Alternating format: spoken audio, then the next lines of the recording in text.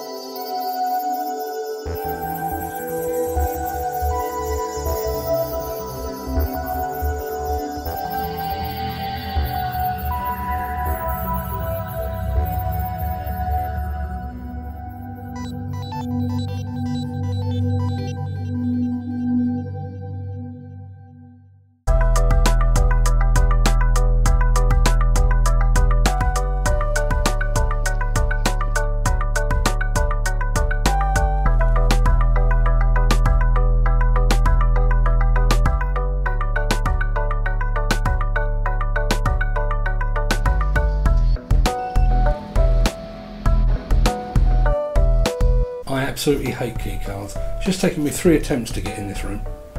Having said that, complaining about something that minor in a hotel like this, it's a bit like complaining that your diamond shoes are a bit too tight. So, time to get ready for this evening, and you don't need to see this part. That's much better.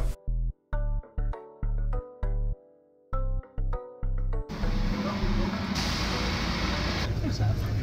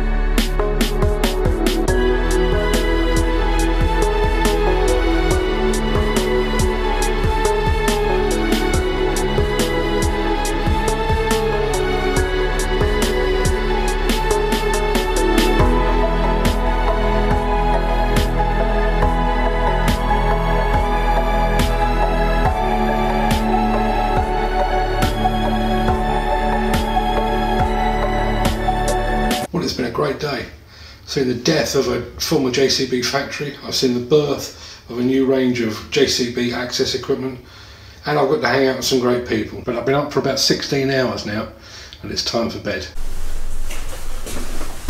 Okay, so it's day two of the JCB International Press Conference. We'll all be off to the world headquarters fairly soon, but before that,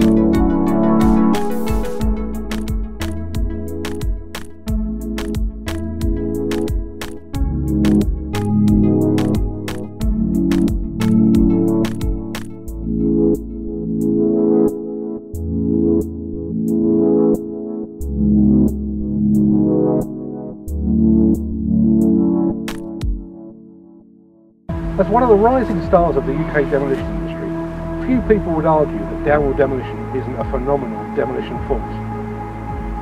But on a job in southwest London, they're having to display a degree of sensitivity as well.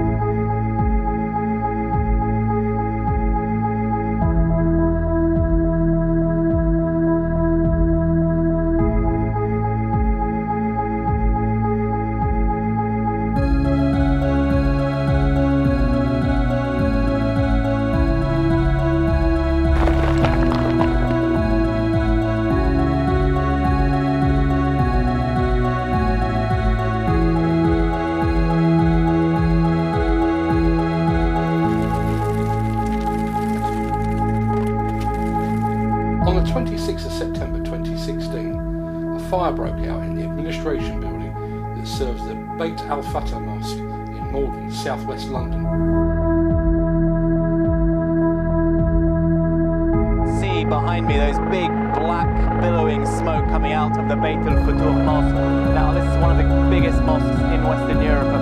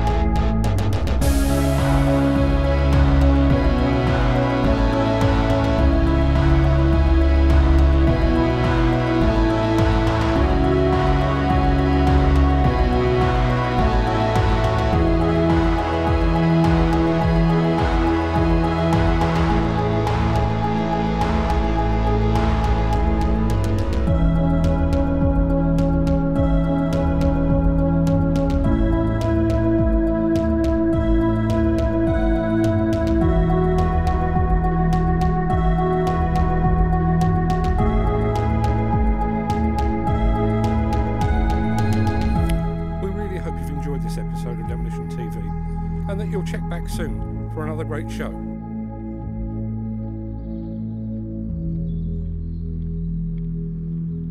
So if you've got a contract that you believe is worthy of inclusion, a new product you'd like to talk about, or an opinion you'd like to share with the rest of the demolition world, then please don't hesitate. Get in touch, demolitionnews.com.